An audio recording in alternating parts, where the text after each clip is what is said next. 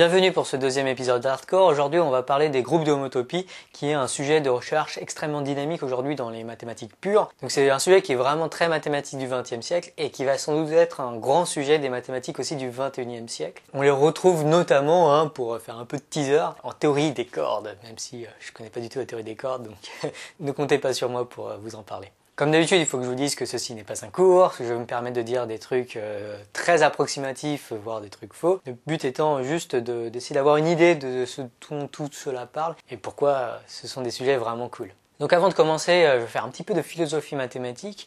En fait, en mathématiques, euh, notamment Poincaré s'est rendu compte que l'on étudie en fait des objets, mais à travers souvent des représentations de ces objets. Et notamment Poincaré a pas mal étudié le plan hyperbolique, mais il s'est rendu compte qu'en fait que le plan hyperbolique, en fait c'est un truc qu'on peut imaginer exister dans un espèce de, de, monde platonicien, dans un monde des idées quoi, mais on ne peut vraiment l'étudier qu'à travers des représentations de ce monde. Et c'est ce dont on a pas mal parlé, notamment dans l'épisode 9, puis après dans l'épisode 12.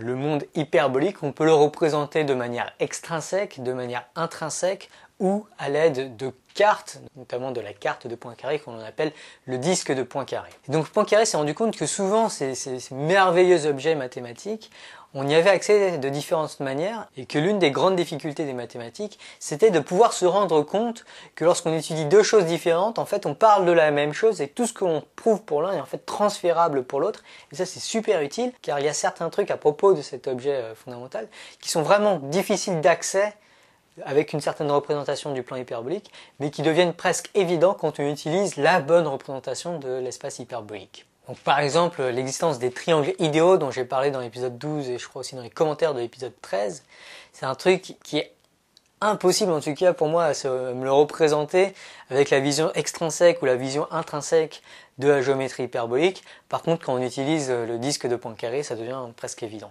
Du coup, un des grands jeux des mathématiques selon Poincaré, et c'est quelque chose qui aura beaucoup influencé la pensée des mathématiciens du XXe siècle et maintenant du XXIe siècle, c'est de réussir à identifier les objets platoniciens qui sont derrière les objets que l'on étudie vraiment en pratique et de montrer qu'en fait deux constructions qu'on a fait en mathématiques sont en fait les mêmes et parlent d'un même objet euh, platonicien. C'est un peu une vision platonicienne des mathématiques. Euh, moi personnellement, en fait, je suis même pas si platonicien que ça. Donc c'est pas forcément une vision euh, véritablement vraie, mais c'est une vision qui est incroyablement utile, en tout cas, pour parler de l'homotopie. Bref, tout ce que j'ai dit là, c'est juste pour vous expliquer ce que je comprends en tout cas quand Poincaré disait que la mathématique est l'art de donner le même nom à des choses différentes. Et du coup, euh, une fois qu'on commence à raisonner euh, comme cela, l'attention ne devrait pas être sur les représentations que l'on se fait d'un objet platonicien, mais plutôt sur les propriétés fondamentales de cet objet platonicien que l'on retrouve dans toutes les représentations de cet objet platonicien. Ces propriétés fondamentales de l'objet platonicien, ce sont ce qu'on appelle parfois des invariants. Donc un exemple d'invariant en géométrie hyperbolique, c'est que si vous prenez une géométrie hyperbolique, alors la somme des angles de tout triangle va être toujours inférieur à 180 degrés. Donc si vous avez plusieurs représentations différentes de ce plan hyperbolique, alors dans toutes ces représentations, si vous calculez la somme des angles des triangles, vous devez toujours obtenir moins que 180 degrés. C'est un invariant car c'est une propriété fondamentale de l'objet platonicien que toutes ces représentations du plan hyperbolique euh, possèdent. Ceci dit, ce n'est pas un invariant caractéristique, c'est-à-dire qu'il y a d'autres objets platoniciens qui ont eux aussi une somme des angles des triangles qui, euh, qui est inférieure à 180 degrés, mais qui ne sont pas exactement le plan hyperbolique. Donc un invariant n'est pas forcément caractéristique. Euh, par exemple, le fait que la somme des angles des triangles est inférieure à 180 n'est pas caractéristique du plan hyperbolique. Il y a d'autres géométries qui ont aussi des sommes des angles inférieures à 180 degrés. Mais il y a des invariants qui, eux, sont caractéristiques. Par exemple, le fait que la courbure de Gauss partout dans l'espace est égale à moins 1, ça, c'est un invariant caractéristique qui fait que si une, géométrie satisfait cette propriété, alors c'est le plan hyperbolique. Donc un invariant caractéristique permet d'identifier uniquement l'objet platonicien dont on parle. Ok, donc là je parler de géométrie hyperbolique pour illustrer un peu ces, idées, mais euh, ce dont on va vraiment parler aujourd'hui, ce sont des variétés topologiques. Donc une variété topologique, c'est une espèce de forme géométrique hein, qui peut être de dimension 1, de dimension 2, de dimension 3, de dimension 14. Mais euh, dans cette forme géométrique, il n'y a pas d'angle, il n'y a pas de distance et il n'y a pas de droite. Donc une variété topologique, c'est ce que l'on peut obtenir à partir d'une variété géométrique lorsque l'on oublie ces considérations qui sont vraiment géométriques. Donc en gros, une variété topologique, c'est un truc qui est intuitivement plus simple qu'une variété géométrique, qui a moins de structure qu'une variété géométrique. Pour en savoir plus, je vous invite à aller voir l'excellent épisode de Patience à ce sujet euh, sur les surfaces et, la topologie. Et donc, comme j'en ai parlé dans l'épisode 25, une des grandes questions de Poincaré, c'était quelles étaient les différentes variétés topologiques de dimension 2, de dimension 3, et ainsi de suite. Et donc pour la dimension 2, Poincaré a résolu le problème, il a déterminé toutes les variétés topologiques, en tout cas celles qui étaient euh, compactes. Euh, par contre pour la dimension 3, c'est un problème qui est encore ouvert aujourd'hui, qui est assez, euh, assez difficile. Alors pour étudier ces variétés topologiques, qui là pour le coup vivent vraiment dans un monde platonicien qui est très très très très difficile d'accès. Poincaré utilise des modèles, des, représentations de ces objets topologiques assez platoniciens. Donc par exemple, pour se représenter la deux sphères, la, sphère topologique, il va utiliser la représentation d'une deux sphère géométrique.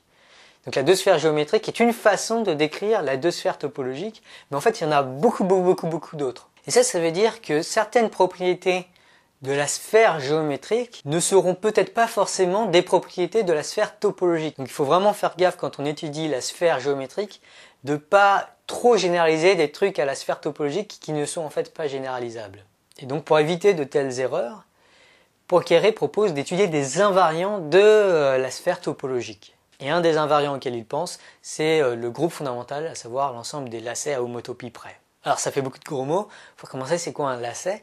Un lacet, intuitivement, c'est un chemin qui va revenir sur lui-même dans la variété topologique. Poincaré se rend compte qu'on peut décrire ce lacet comme une fonction continue de l'intervalle 0,1 dans la variété topologique. Donc il faut imaginer qu'à chaque instant du temps, ce chemin prend une certaine valeur dans la variété topologique, un certain endroit dans la variété topologique. Et pour que ça soit un lacet, il faut qu'il revienne sur lui-même. Du coup, on va demander à ce que la valeur de cette fonction en 0 soit égale à sa valeur en 1. Une façon plus jolie euh, de réécrire ça pour ne pas avoir cette égalité qui traîne, qui consiste à dire qu'un lacet, c'est une fonction du cercle S1. S1, c'est le cercle, hein, le, cercle, dans la variété topologique. Une des grandes idées de Poincaré, c'était aussi de dire que deux lacets sont parfois en fait les mêmes, même s'ils ont l'air différents, en fait fondamentalement ce sont les mêmes. Et ça c'est le cas lorsque l'on peut transformer de façon continue l'un en l'autre, ce qu'on appelle une homotopie.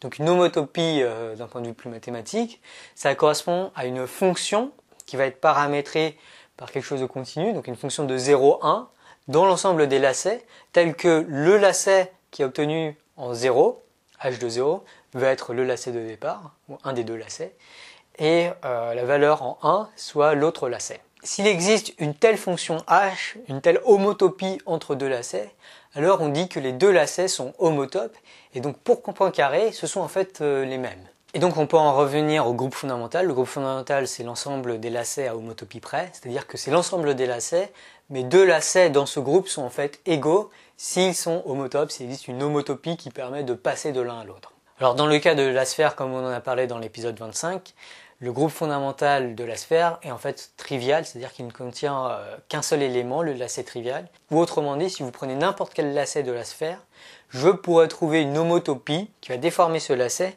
et le réduire en un point. Donc dans le cas de la sphère, le groupe fondamental est super simple. Cependant, dans le cas du tore, le groupe fondamental est euh, assez compliqué puisqu'en fait il est infini. Du coup, ça paraît euh, difficile d'étudier un objet qui est infini. Eh bien, ce qui va nous sauver, qui va nous permettre de quand même bien comprendre en fait le groupe fondamental du Tor, c'est le fait qu'il y a une structure algébrique très simple sur l'ensemble des lacets du Tor. Et cette structure algébrique a été découverte par Poincaré, euh, c'est ce qu'on appelle la composition des lacets. Donc tout simplement, Poincaré dit que si j'ai deux lacets, je peux les combiner en suivant le premier puis le deuxième, et ça fera au final un autre lacet. Donc ça, ça nous permet de combiner des lacets entre eux, un peu comme on combinerait euh, des nombres euh, à travers l'addition pour former un troisième nombre. il y a une petite différence entre cette opération et l'addition des nombres classiques, c'est le fait que cette opération euh, de composition est en général pas commutative. Ça veut dire qu'en général, si je fais L1, L2, c'est-à-dire je fais d'abord la boucle L1, puis après je suis le lacet L2, le lacet que j'aurais fait est pas forcément le même que si je fais L2, L1, c'est-à-dire je fais d'abord le LCL2 puis le LCL1, et ce même à homotopie près, c'est-à-dire que je peux même pas passer avec une homotopie de L1, L2 à L2, L1. On dit que la composition des lacets n'est pas commutative, parfois on dit qu'elle n'est pas euh, abélienne.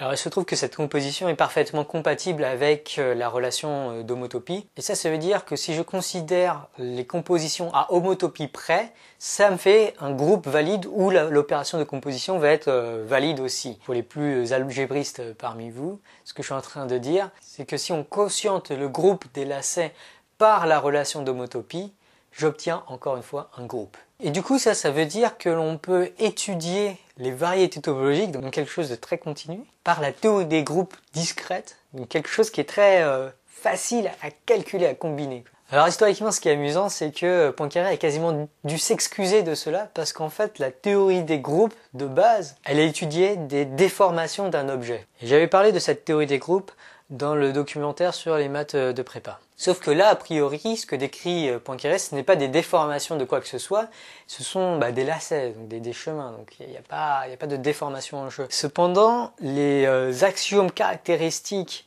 des groupes de transformation étaient très semblables aux propriétés euh, caractéristiques de ces compositions des lacets, du coup, Poincaré euh, a affirmé dans, son, dans il a écrit que euh, tout se passe vraiment comme si on était dans un groupe. Du coup, je vais appeler ça un groupe, même si ce n'est pas vraiment un groupe. Aujourd'hui, on définit les groupes autrement qu'à l'époque. On définit aujourd'hui les groupes par leurs propriétés. Du coup, aujourd'hui, on appellera ça un groupe sans se poser de questions. Du coup, c'est amusant de voir que cette invention d'un nouveau groupe a, fait avancer la manière dont on définit les groupes et donc dont on comprend euh, les groupes en général.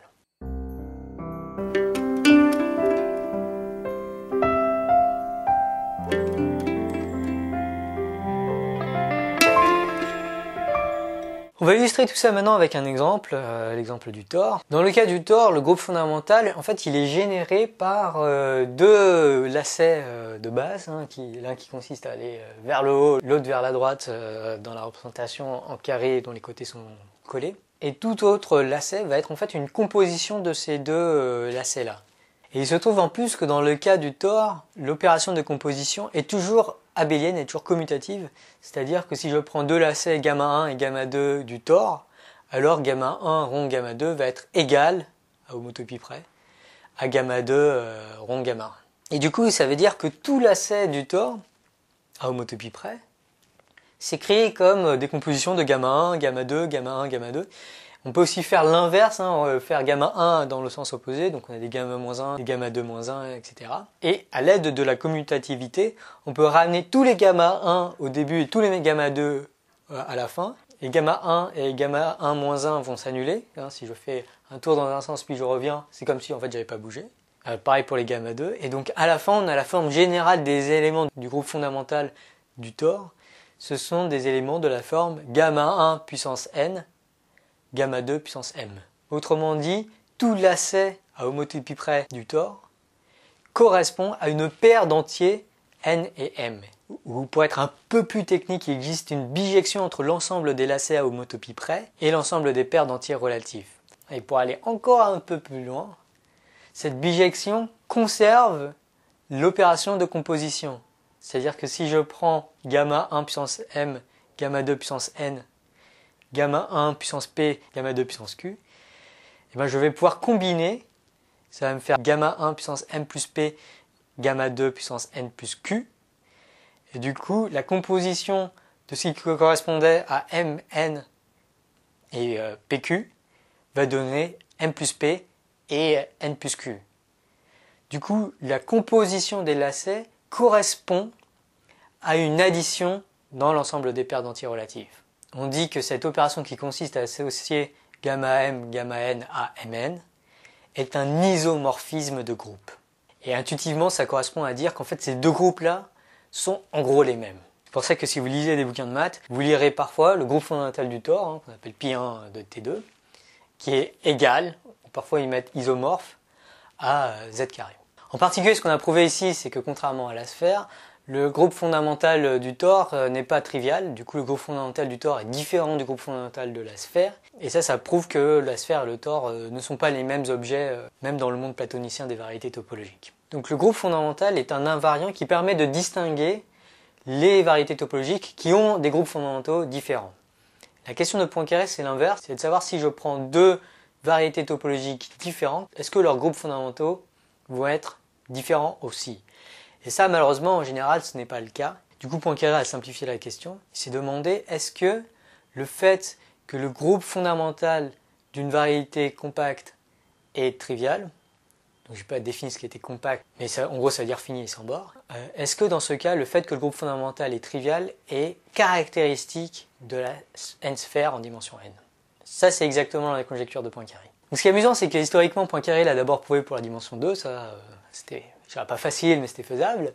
Puis après, il a laissé la question ouverte par dimension 3 en disant euh, cette question nous emmènerait trop loin. Et au cours du XXe siècle, les euh, mathématiciens, les topologistes ont aussi à prouver que pour des sphères suffisamment grandes, de dimensions suffisamment grandes, le groupe fondamental était caractéristique de la sphère mais ils n'arrivaient pas à le prouver pour des espaces de dimensions plus petites. Ce qui est amusant, c'est que les dimensions plus grandes étaient plus faciles que les dimensions plus petites. Bon, ils ont fini par réussir à le prouver pour la dimension 5, après la dimension 4, et puis il restait plus que la dimension 3. Et puis finalement, c'est Perelman qui a prouvé euh, le cas de la dimension 3 euh, en 2003. Et un autre truc qui est amusant, c'est la manière dont Perelman y est arrivé. En fait, il a suivi euh, le programme de, Thurston, qui avait conjecturé notamment que si on prend n'importe quel espace de euh, dimension 3, alors on pouvait le géométriser, c'est-à-dire lui donner une géométrie parmi euh, 8 géométries euh, différentes. Et puis il a montré que cette conjecture de géométrisation était très reliée, était intimement liée à la conjecture de Poincaré. Mais c'est assez remarquable, donc il y en a euh, juste un nombre fini, et puis 8, quoi, comme ça. en dimension 2, il y en a 3. Et le fait qu'on rajoute une dimension, ça ajoute un peu de, variété sur la troisième dimension. Euh, notamment le tenseur de Riemann par exemple est beaucoup plus grand. Tu sais, ça ne veut pas dire que les géométries euclidiennes par exemple sont toutes euh, les mêmes géométries. Par exemple, le tor n'a pas vraiment la même géométrie que le plan, puisque par exemple dans un tor, si vous continuez toujours dans une direction, vous finissez par revenir plus ou moins au même endroit, alors que dans le plan, vous continuez à l'infini.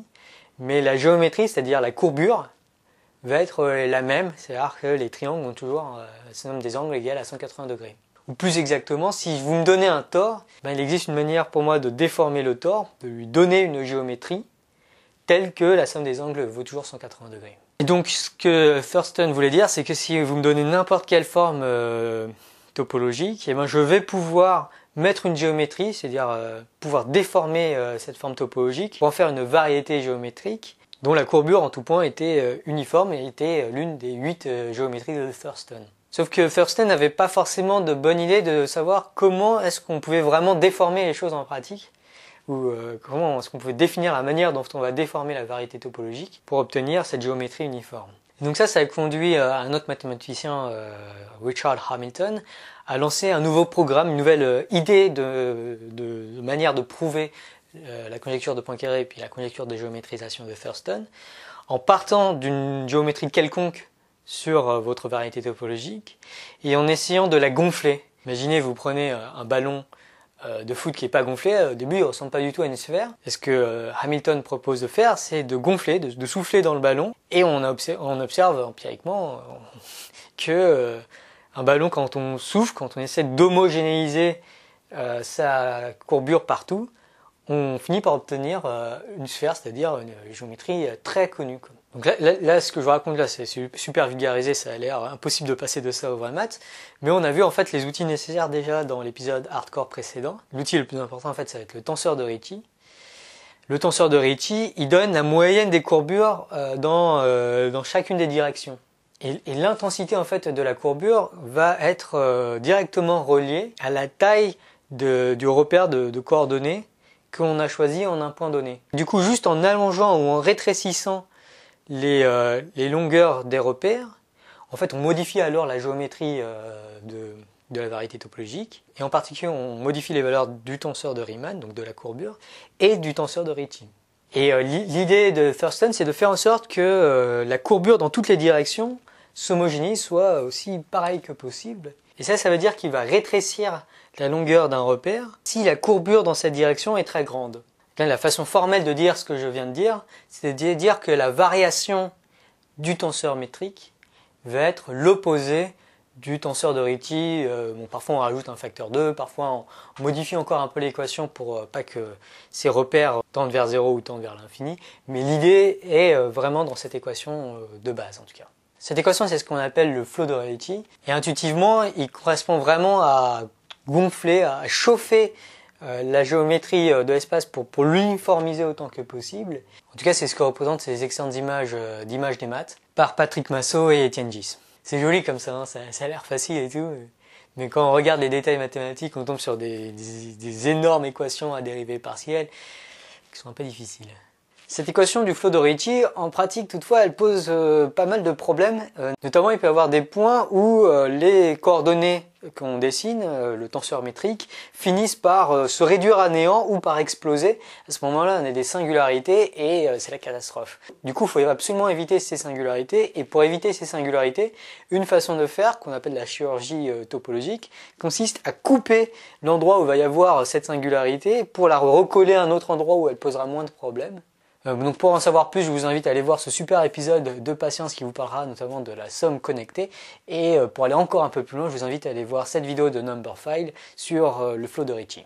Et donc le génie de Perelman, c'est entre autres, moi je comprends rien à sa preuve, mais entre autres apparemment, c'est d'avoir su couper les endroits où qui allaient poser problème pour mieux les coller aux autres endroits et avoir ainsi résolu tous les problèmes de singularité. Et ainsi il a prouvé la conjecture de Thurston et au passage, il a donc aussi prouvé la conjecture de Poincaré.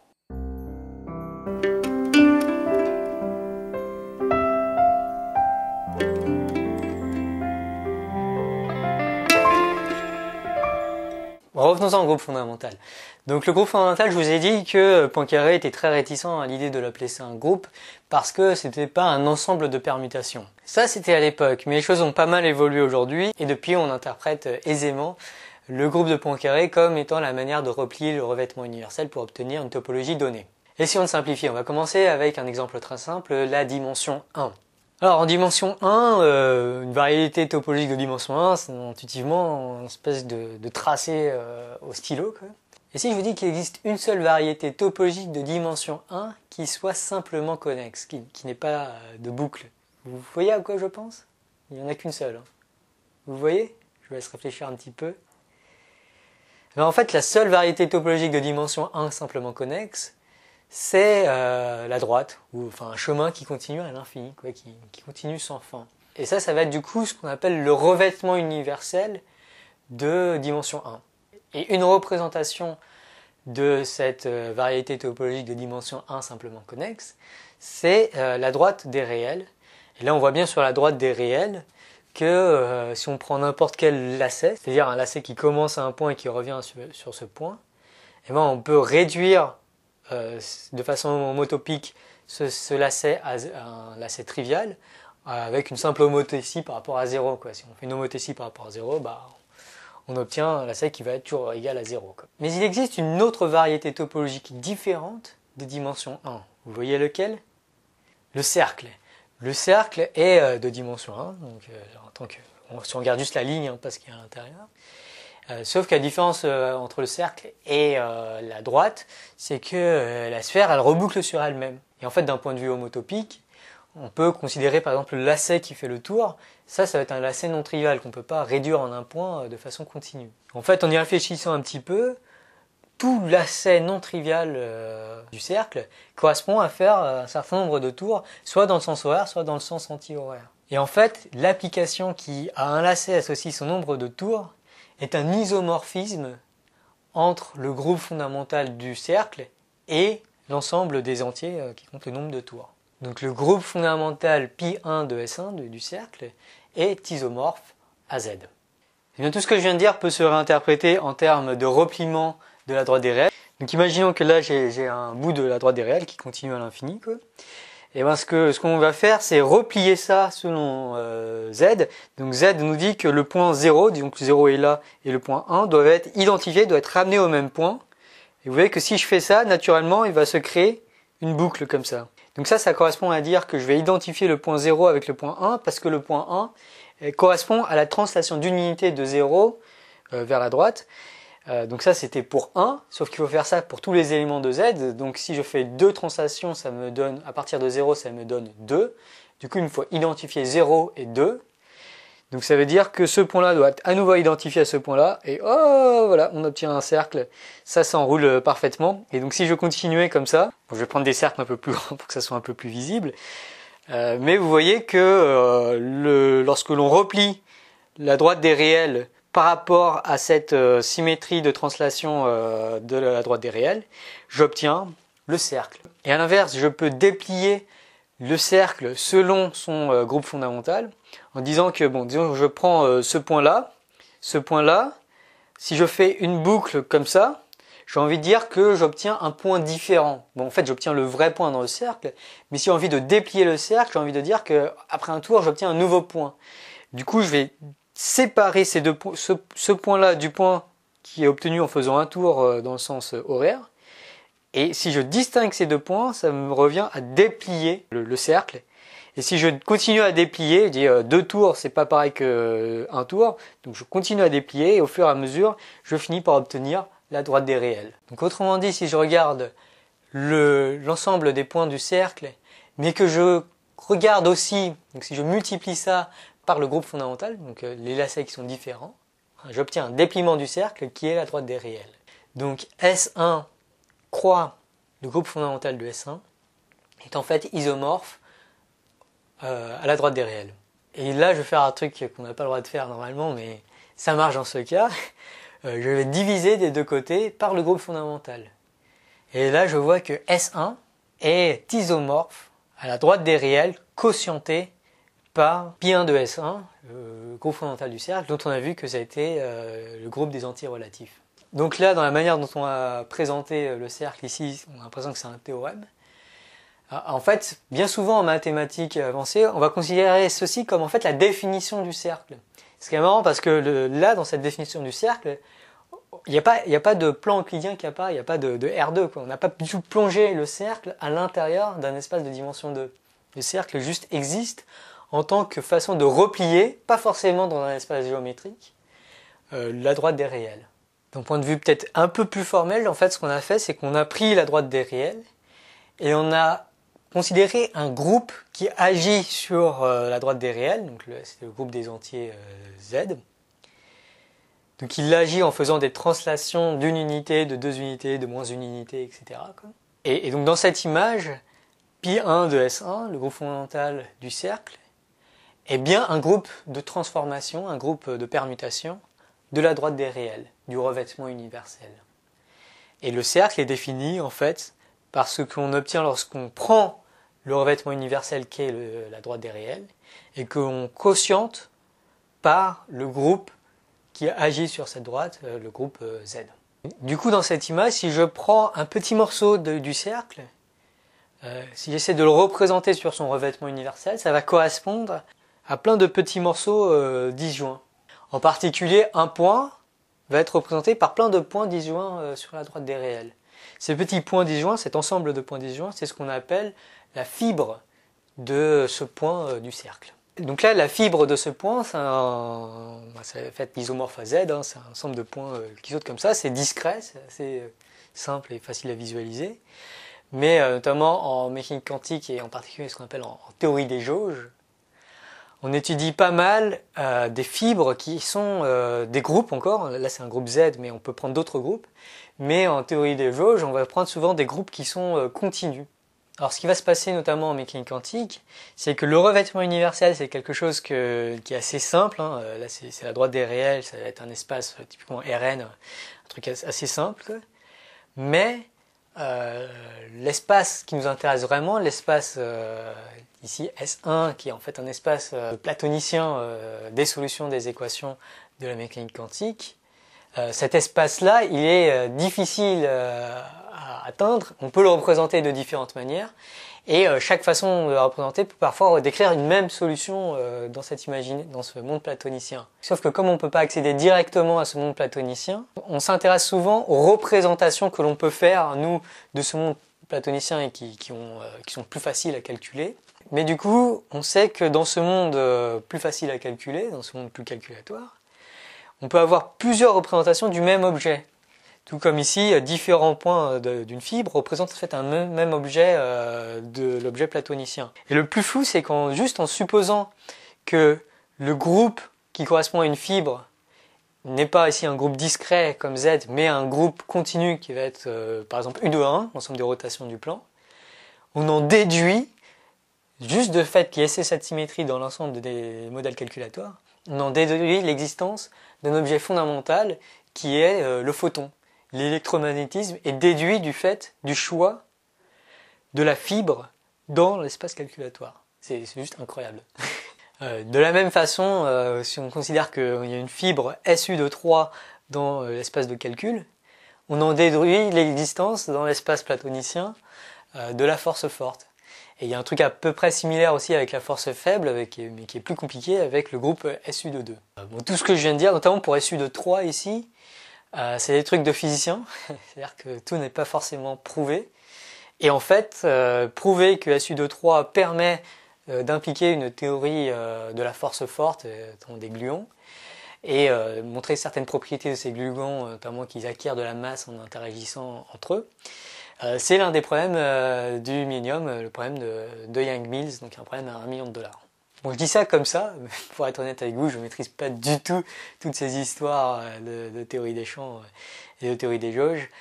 Ça me dépasse un peu complètement, et du coup, je pense pas que c'est moi qui vais empocher le million de dollars.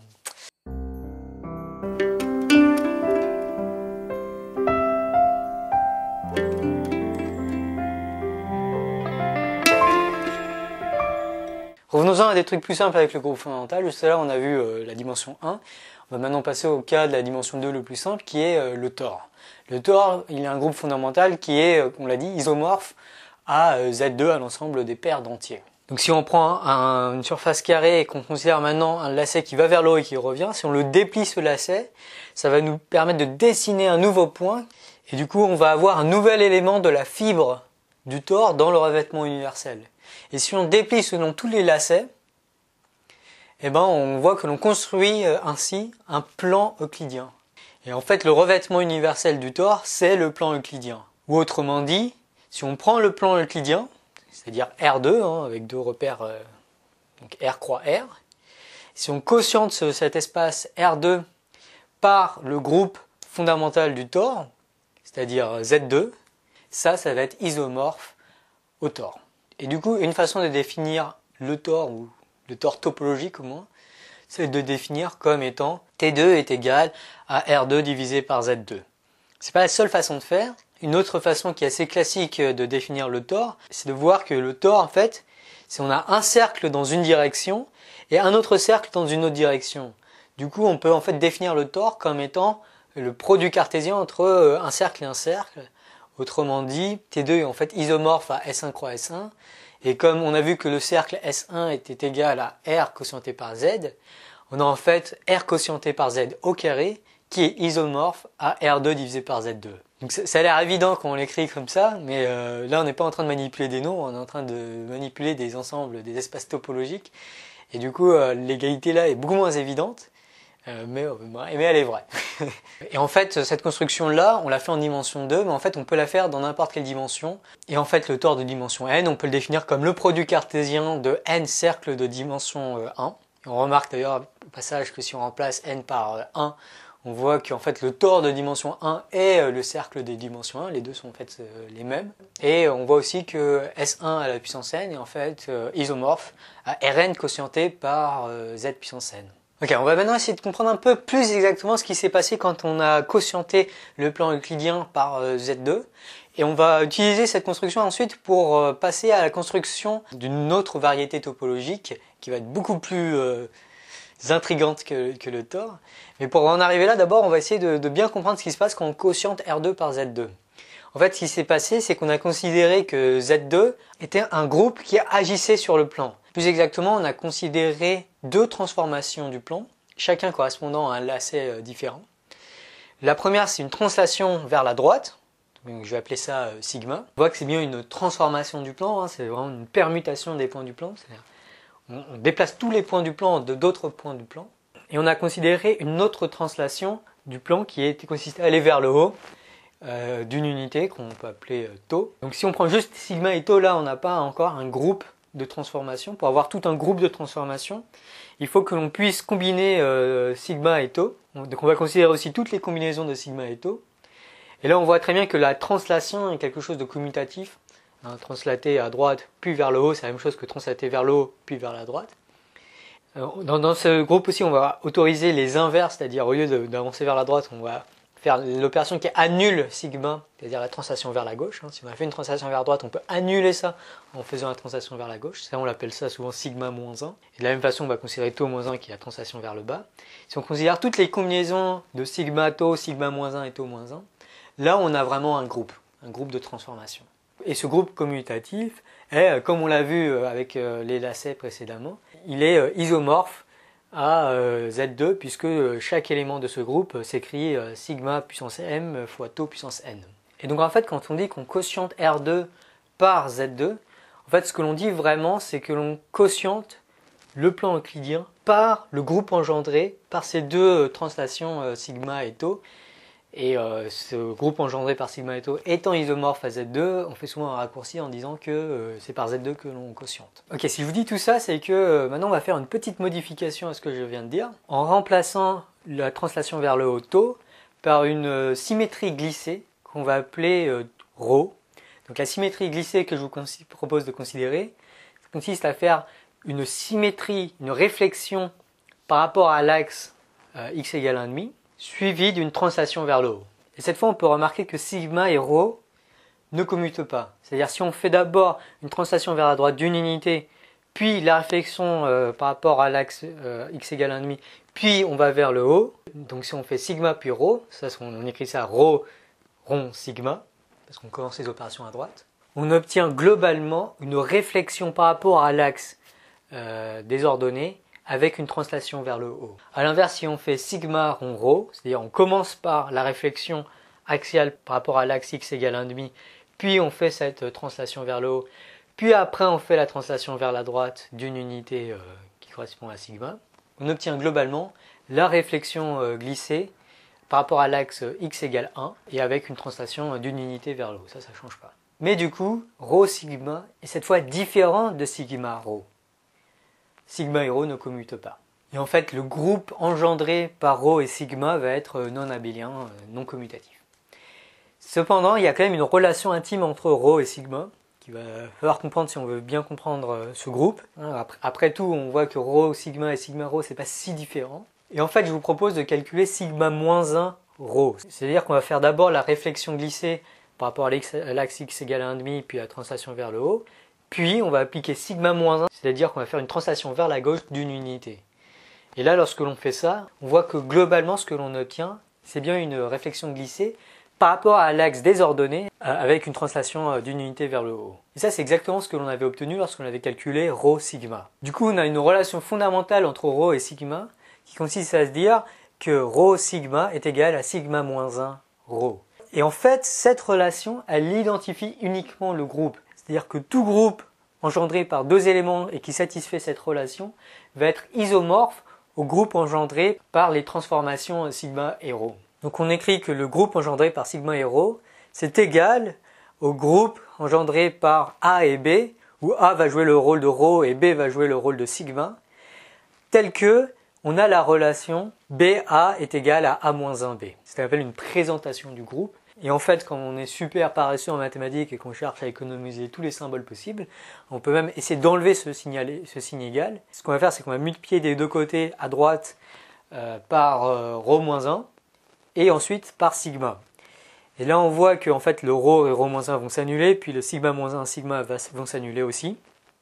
Et du coup, on obtient l'identité. Et ça, ça veut dire que si on applique sigma, puis ρ-1, puis sigma, puis ρ, alors on obtient l'identité. Et du coup, le groupe engendré par sigma et rho va être isomorphe au groupe engendré par A et B avec cette euh, relation ici, où lorsque l'on écrit ça comme ça, on sous-entend que cette relation-là est euh, égale à l'identité. Comme ce groupe est non commutatif, il correspond à un groupe différent du groupe fondamental du tore. Du coup, si on quotiente l'espace R2, le plan euclidien, par ce groupe qui est non commutatif, on va obtenir une variété topologique qui va avoir un groupe fondamental qui est égal à ce groupe-là et qui va être donc distinct du tore. Et en fait, vous allez obtenir ce qu'on appelle la bouteille de Klein. la bouteille de Klein, c'est un truc absolument génial et assez étrange euh, dont euh, Patience a parlé euh, rapidement. La bouteille de Klein, c'est donc une variété topologique de dimension 2 hein, qui peut être géométrisée comme un plan euclidien. Si on lui donne la bonne géométrie à ce moment-là, la somme des angles des triangles est égale à 180 degrés. Mais ce qui est bizarre avec la bouteille de Klein, c'est qu'il existe des lacets. Donc si vous suivez ces lacets, vous revenez au point de départ et la gauche et la droite sont tout à coup inversées. Et en particulier, si notre univers avait cette topologie-là, euh, c'est possible qu'elle l'a, on ne sait pas. Euh, si elle a cette topologie-là et qu'on suit ce genre de chemin, on reviendrait sur Terre et euh, les oranges auraient un goût de citron et vice-versa. Et, ça, c'est parce qu'il y a des molécules qui donnent le goût du citron et de l'orange, qui sont le miroir l'un de l'autre. Bref, la bouteille de 15, c'est un truc vraiment génial, vraiment trop cool. Malheureusement, ou heureusement, je ne sais pas, on ne peut pas la représenter dans notre espace 3D. Donc il y a des façons de représenter cette bouteille de Klein, mais il faut qu'il y ait des points d'intersection qui n'existeraient pas dans la vraie bouteille de Klein. Donc voilà, je vous invite à aller voir euh, ces quelques vidéos qui parlent de la bouteille de Klein, c'est vraiment un objet euh, vraiment euh, merveilleux.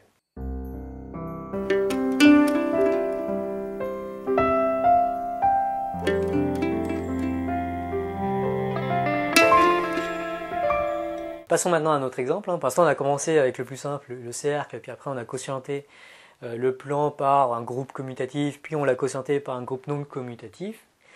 Euh, maintenant, ce qu'on va faire, c'est qu'on va partir euh, d'un revêtement universel initial qui est peut-être plus difficile à visualiser que le plan euclidien, à savoir, on va commencer avec le sphère. Bon, la sphère, on voit quand même à peu près ce que c'est, mais c'est plus étrange que ça peut en avoir l'air. Notamment, il y a un groupe qui agit sur la sphère, qui est l'opération qui consiste à inverser les pôles de la Terre. Donc chaque point va devenir son antipode. Donc là on a une transformation qui euh, inverse un peu la sphère dans certains sens. Et euh, si on inverse deux fois la sphère, on revient avec la sphère initiale. Donc c'est une transformation qui lorsqu'on l'applique deux fois donne l'identité. Et du coup le groupe engendré par cet élément bah, va contenir uniquement lui-même et l'identité. C'est un groupe à deux éléments. Donc les groupes à deux éléments, en fait, il n'y en a qu'un seul à isomorphisme près, euh, donc ça correspond à z sur 2z. Hein. Z sur 2z et un élément qui est 0, euh, qui est euh, l'identité, puis un autre élément qui est 1, et 1 plus 1 ça fait 0. Donc si on fait deux fois l'élément qui est non nul, qui n'est pas l'identité, on obtient l'élément identité. Bref, donc z sur 2z agit sur la sphère, et on peut quotienter la sphère par l'action du groupe z sur 2z, et à ce moment-là, on obtient ce qu'on appelle le plan projectif de dimension 2. Alors défini comme ça, ça peut paraître super abstrait. Euh, d'ailleurs, on ne peut pas représenter non plus le plan projectif dans notre espace de dimension 3. Euh, Il y aura des, intersections bizarres. Et puis même si vous voyez ces intersections, c'est un truc ultra bizarre le plan projectif, à représenter en tout cas topologiquement. Et du coup, on a l'impression que ça n'existe pas vraiment dans notre monde réel. Pourtant, en fait, c'est euh, une composante essentielle de beaucoup d'aspects des mathématiques. Ça paraît notamment en mécanique quantique hein, pour décrire l'ensemble des états de l'univers. Et en fait, il y a une autre façon de représenter le point projectif qui permet peut-être de mieux le visualiser.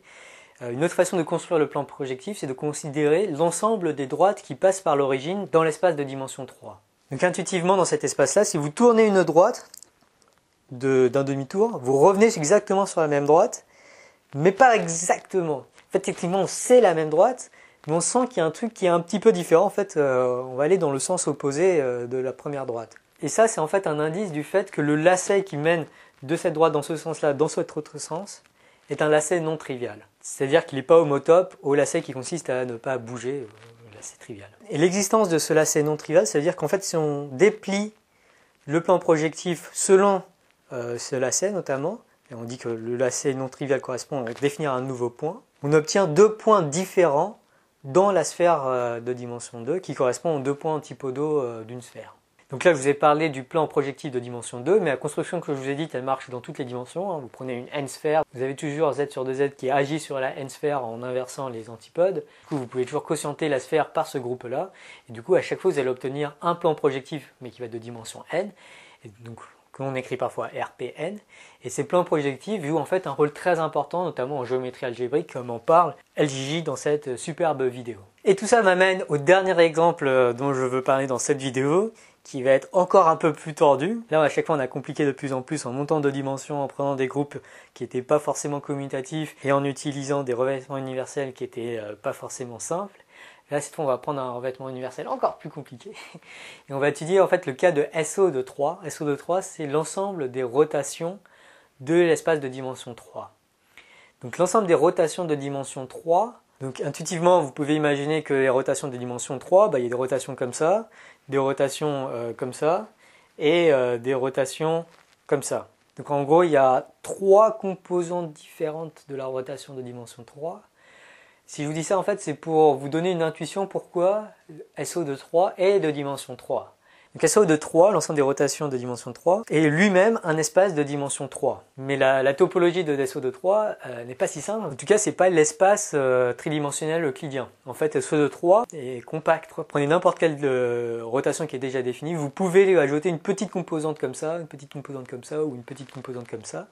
Donc vous pouvez toujours vous déplacer dans les trois dimensions à partir de n'importe quelle composante, et ça, ça montre qu'il n'y a pas de bord. Et intuitivement, SO2 3 n'est pas non plus euh, infini, puisque en fait, si vous prenez une rotation, vous continuez à aller dans ce sens de cette rotation, au final, bah, vous allez finir par revenir, euh, si vous tournez de 360 degrés, bah, vous revenez au point initial. Donc voilà, SO2 3, c'est un exemple d'espace de dimension 3 qui est fini et sans bord. Alors pourquoi est-ce que je vous parle de SO2 3 dans cet épisode? C'est parce que dans SO2 3, il y a des lacets qui ne sont pas euh, triviaux, et en fait, on peut les représenter par un truc qui s'appelle la, danse de Bali. Je vous souvenez, j'avais dit que pour le plan projectif, j'avais euh, cette transformation qui inversait la droite, mais au final c'était euh, la même droite, du coup c'était euh, un lacet, on revenait au même point que le point initial, mais on sentait que ce pas un lacet trivial.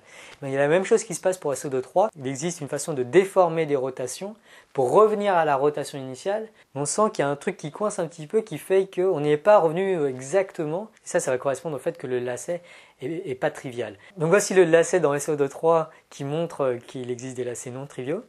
Alors attention, il va falloir beaucoup d'imagination. Ce qu'il faut faire, c'est, euh, ça s'appelle la danse de Bali. Vous gardez la main vers le haut comme ça, puis vous tournez la main comme ça, et là, à ce moment-là, vous avez exactement la même rotation. Hein. Vous, tournez en fait selon cet axe-là. Donc je, reviens au début. Là, je vais tourner selon cet axe-là, euh, cet axe de rotation. Et là, au bout d'un tour, je suis donc revenu euh, à la rotation initiale. Hein. J'ai fait un tour de 360 degrés. Donc euh, je suis revenu à la même rotation. Donc là je suis, j'ai vraiment fait un lacet dans SO2-3. Mais là clairement ce lacet me montre que même si j'ai exactement la même rotation qu'au début, euh, il y a un truc qui s'est passé. Et en fait ça revient vraiment, ça correspond vraiment à dire que ce lacet est non trivial. Et en fait si je répète ce lacet, si je fais encore un tour de 360 degrés, je reviens au point initial. C'est assez magique et euh, cette illustration en fait est une illustration du fait qu'il existe ce lacet dans SO2-3 qui, si on le répète deux fois, devient un lacet trivial. Autrement dit, le groupe fondamental de SO2-3 est Z sur 2Z comme euh, le groupe fondamental du plan projectif.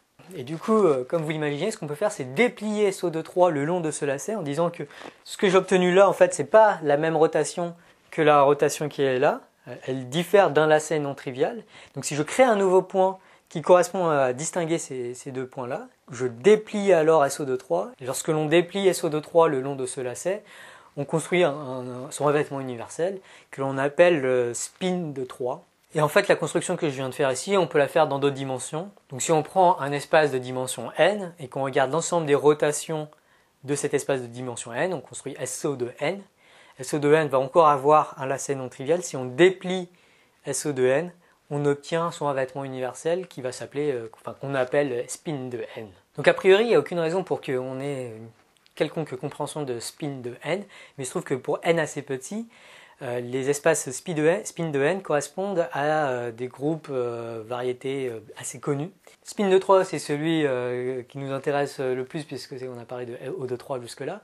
Spin de 3, lui, va être isomorphe à SU de 2, qui est l'ensemble des matrices unitaires déterminant 1 de l'espace complexe de dimension 2. Mais si on y réfléchit, du coup, SU de 2, ça va être une variété topologique.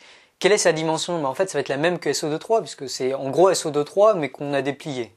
Hein, et qu'on déplie des structures, en fait, elles gardent leur dimension. Donc SU de 2 a encore une dimension 3. Elle est aussi compacte parce qu'on a déplié SO2-3 une seule fois. On l'a fait qu'un seul dépliement de SO2-3 selon ce lacet non trivial. Du coup, il n'y a aucune raison qu'on puisse partir à l'infini dans SU2-2. En fait, SU2-2 est compact. Enfin, comme on a enlevé les lacets non triviaux, il ne reste plus que des lacets triviaux dans SU2-2. Du coup, SU2-2 est simplement connexe. SU2-2 est donc une variété de dimension 3, compacte et simplement connexe. Elle satisfait les hypothèses de la conjecture de Poincaré. Or, la conjecture de Poincaré a été prouvée par Perelman, donc SU2,2 est forcément la même chose qu'une 3 sphère d'un point de vue topologique. Bon, bien sûr, la preuve que je viens d'en donner là, c'est la preuve alambiquée qui utilise le théorème de Perelman-Poincaré. On peut démontrer beaucoup plus facilement que ça euh, que SU2,2 est euh, la même chose, homéomorphe comme on dit en topologie, à la 3 sphère. Mais du coup, SO2,3, Hein, SO2,3, on a vu que lorsque l'on dépliait selon Z sur 2Z, on obtenait SU2,2. Donc le dépliement selon Z sur 2Z, selon son groupe fondamental de SO2,3, nous donne la 3 sphère.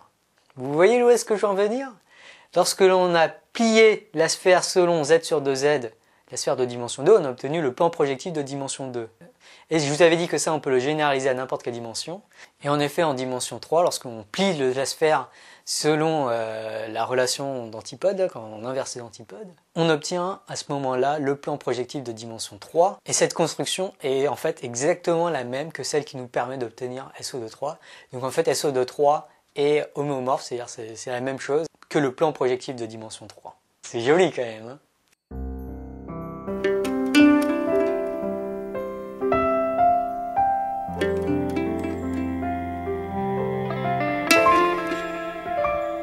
Bon, ça fait beaucoup d'informations dans cette vidéo, je rajoute une dernière qui concerne les groupes d'homotopie d'ordre supérieur. Jusque-là, on a parlé juste du groupe fondamental qui est euh, un ensemble de lacets à homotopie près.